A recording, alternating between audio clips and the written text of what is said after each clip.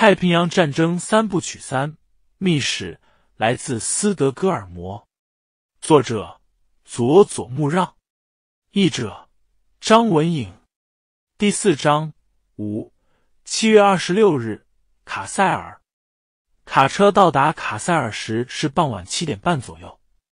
格林一等兵把卡车停在了车站前的广场。这座城市也差不多成了堆废墟。车站附近的建筑物大多都坍塌了。根据建筑物的损毁程度和仅存的墙壁的惨状，大概可以知道这里不仅遭受了轰炸。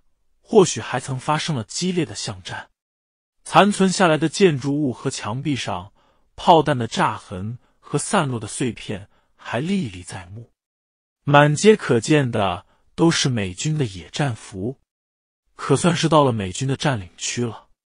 从这里起，包括法兰克福、纽伦堡和慕尼黑，一直延伸到奥地利、捷克斯洛伐克边境线以内的德国领土，都被美军占领了。法军占领的是德国西南部的莱茵河沿线两个地区。那么，接下来的事情怎么办呢？还是让格温斯基来想办法吧。森四郎望了望四周，格林一等兵从驾驶座上下来，随着森四郎的目光望去。四月初，美国第一军和第三军突围进入这里，因为当时德国 B 集团军还驻扎在这里。双方好像发生了激烈的巷战。森四郎再次确认道：“听说好像有列车能从这儿到法兰克福的。”“嗯，能到。不过今天已经这个时候了，现在出发的话，可能没有去那儿的车了。不然你们等到明天早上吧。明天一大早，我帮你们安排去那儿的车。早上出发的话，中午应该就能到。”这样会不会太麻烦你了？森四郎一边说，一边瞟了眼格温斯基。格温斯基略微点了点头，意思是住一晚，明天再出发也可以。森四郎便说：“那么，我们今天就暂且住在这儿吧。那明天早上八点，咱们还是在这个广场见。麻烦你了，Life，我等你的好消息哦。到了巴黎。”我一定会向编辑部强烈推荐的。格林一等兵的卡车离开后，森四郎问格温斯基道：“我们长时间停留在一个地方没问题吗？那些人不会追上来吗？”“不会。”格温斯基好像内心坚信不疑似的说：“通缉令应该只限于边境安检所以内的范围。这附近的军队目前应该还没有收到情报，而且。”如果我们半夜行动，反而容易引入注意。那我们找个地儿住下来吧。嗯，就这么决定了。我想给斯德哥尔摩那边打个电话。森四郎环视了广场一周，想看看有没有能住宿的地方。车站本来应该是有很多旅馆的地方，可是现在这里却成了一片废墟。当地居民的住房怕是都成了问题吧。更别提能找个像样点的旅馆了。看了一圈，发现在车站入口的旁边站着一个举着个牌子的中年妇女，牌子上用德语写着“住宿一百马克”，看样子是经营那种家庭旅社的吧。森四郎和格温斯基两人走近一问，果然是家庭旅馆。如果需要晚饭的话，加二十马克就行。另外还说。希望提前付钱。格温斯基问道：“房间有电话吗？”中年女人吃惊的瞪大了眼睛说：“没有。”的确，问这个问题本身就是件极其愚蠢的举动。我们想找个有电话的宾馆。如今的卡塞尔哪有什么宾馆啊，更别提电话了。也对，格温斯基苦笑着说道。你家是在这附近吗？嗯，就在前面那个路口。那就去吧。需要晚饭吗？嗯，最好也有早饭。那现在付钱。付了钱后，两人提着行李跟在中年女人后面走。不一会儿，就看到一幢被火烧后残留下来的建筑物，跟着女人从一个人口进了那幢建筑物，是个四层的集体住宅楼。森四郎本来还想着是独门独户的房子呢，眼前这光景让他有些意外。虽说勉强在战乱中残留了下来，可是也是相当破烂，墙壁大多都剥落了，房顶也是用现成的木头随便修补的，还有没补上露着的地方。一直上到四楼，女人把他们领进了一个房子，里面真是破烂不堪。连个像样的家具都没有，就有两张桌子、两个木椅，再加上两个布凳子和一个衣柜，就只有这么点东西。衣柜上面摆着几张照片，除此之外，整个房间没有任何装饰品和纪念品之类的东西，甚至连窗帘都没有。在原本应该是窗户的地方，用一张黑漆漆的纸贴着。房间的一个角落里耷拉着床单，另一头的地上摆着一个脏兮兮的脚垫。窗户边的椅子上坐着一个中年男人，应该是这个女人的丈夫。一条腿没了，或许是在战场上负的伤吧。男人留着邋遢的胡子。男人看到森四郎他们，连个招呼都没打。就是这里了。女人打开了客厅里侧的门。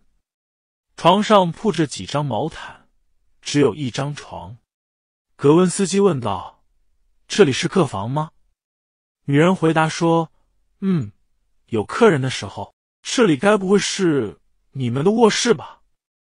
你们不用在意，没关系的，我们睡那间屋子就行。”森四郎和格温斯基对视一眼，格温斯基说：“那也没有别的办法了，咱们今天就住在这儿吧。”森四郎说道：“我本来还满心欢喜的，以为能洗个热水澡呢，看来希望落空了。等到了博尔尼，随你怎么享受都行。”二十分钟后，他们吃到了晚饭，黑色的面包和卷心菜汤。正吃饭时，进来一个年轻女子。女主人介绍说：“这是我们家女儿，她看上去也就是二十出头的样子，个头挺高的。”看起来精疲力竭的样子，坐在椅子上取下了围巾，应该是刚工作完回来。原来是个三人的家庭啊，全家三个人就这么挤在一个卧室里睡觉。今晚又来了住宿的客人，连卧室都不能睡了。今晚他们怕是睡不了安稳觉了吧？森四郎有些担心的想，大概是我习惯了斯德哥尔摩的那种生活水平吧，而他们或许对这种条件。早就见怪不怪了。晚上九点左右，格温斯基去了电话局。他说：“无论如何都得和斯德哥尔摩方面联系一下。打电话或许得排队等一两个小时。”森四郎虽然也不想在这个贫民窟一样的地方多待一分钟，可是行李还放在这里，总不能就这么把行李扔在这里不管吧？他只好留下了看东西。森四郎把腿搭在床上，伸了伸腿，点了支烟，正抽呢。这时突然有人敲门，森四郎说了声请进，女主人应声进来了。他小声的说：“要是你不嫌弃的话，让我女儿陪陪你吧。”森四郎听明白了女人的意思后，顿时觉得烟的味道变得很呛。他把烟从嘴里拿了出来。“怎么样？”女人问道。她可是个美人呢，不用了。森四郎有些不高兴的摇了摇头。我本来也没想住在这里的。哦，这样啊。女人脸上倒是也没露出特别失望的神色。那我们一家人也差不多要睡觉了。你还有什么要吩咐的吗？房间的大门先别锁，我朋友会晚一点回来。没事，他敲门的话。我会马上起来开门的。女人说完，离开了卧室，轻轻带上了门。森四郎觉得好像门没关严，边下去确认一下，果然还留了个缝。森四郎便轻轻的关上了门。格文斯基等了一个小时十分钟，终于轮到他了。康拉德先生，电话局的职员叫到了格温斯基的假名字，用手指着一个电话亭。格温斯基朝着那个电话亭走了过去，是车站附近还残存的一个建筑物，好像邮局、电话局和其他几个政府部门一同在这里办公。总之，先充当了临时的电话局。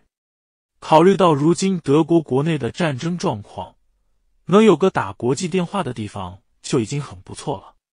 格温斯基进了那个狭小的电话亭，拿下话筒。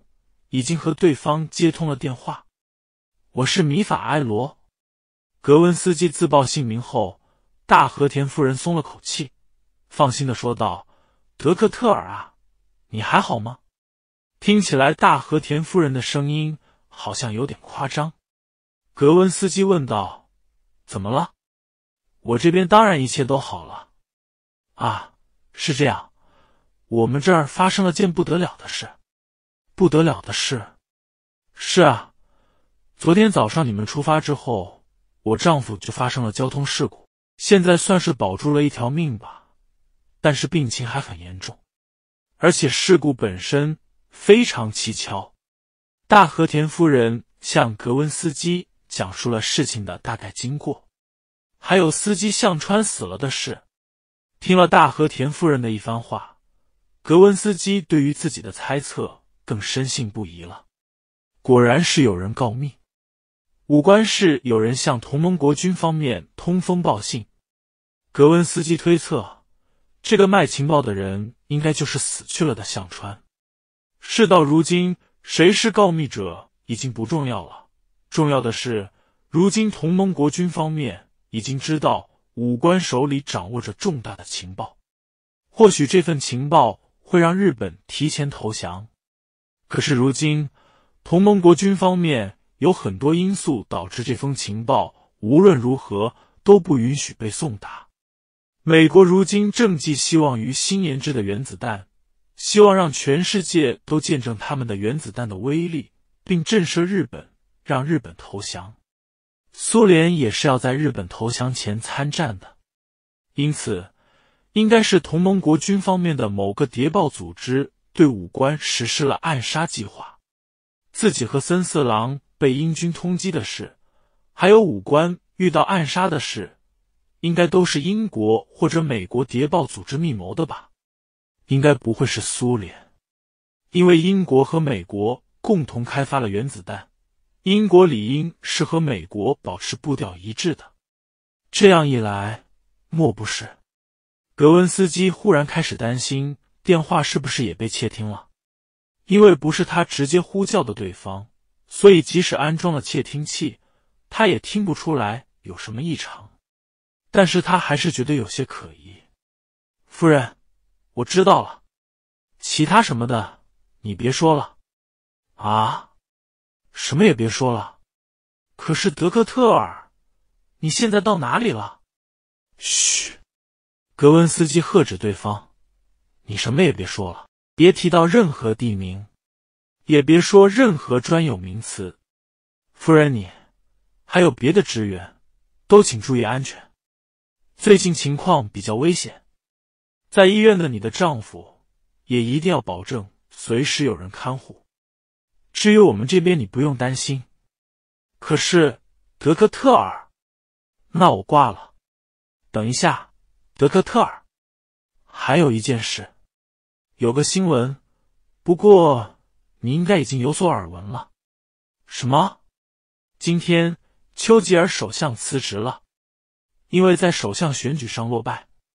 另外，英国 BBC 也在刚才差不多九点半的时候播放了同盟国军在波茨坦发表的对日共同宣言，是英美中三国首脑共同宣言。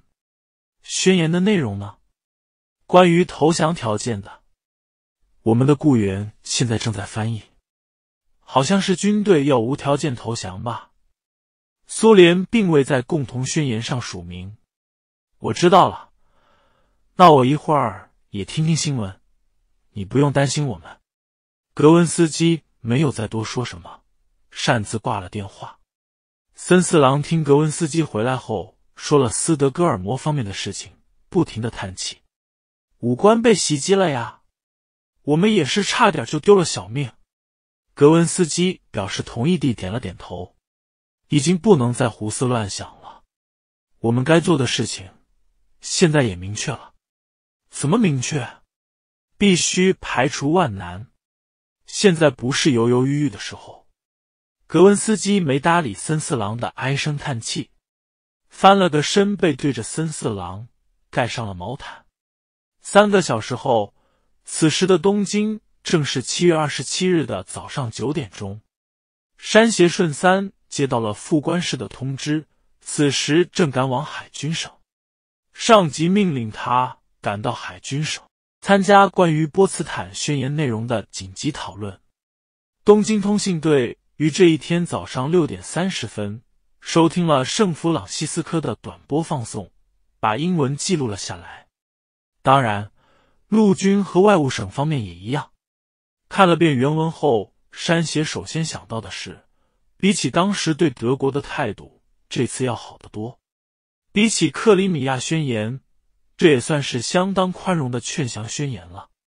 值得注意的地方有如下的几点：没有明确提到关于天皇制的废止。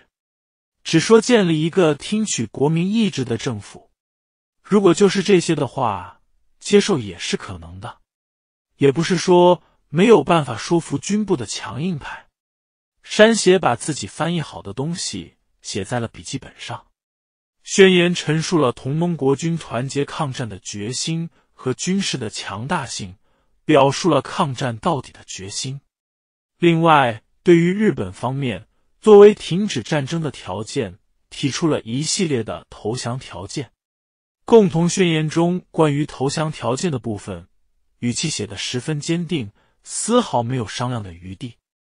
我等绝不妥协于如下所示的条件外的任何条件，条件不容改变，不容放宽，无其他选项，不容延迟。关于投降，日本需要接受的条件。如下所示：一、驱逐军国主义势力；二、同盟国军占领日本国内部分地区；三、日本领土限定本州、四国、九州、北海道及同盟国军承认的诸岛；四、解除军事武装；五、处罚战争罪犯，强化民主主义，尊重基本人权。六、延续和平产业，废止军需产业。七、建立和平政府后，占领军撤出。八、日本军队无条件投降。正好翻译完的时候，米内叫他出去。山胁手里拿着笔记本进了大臣室。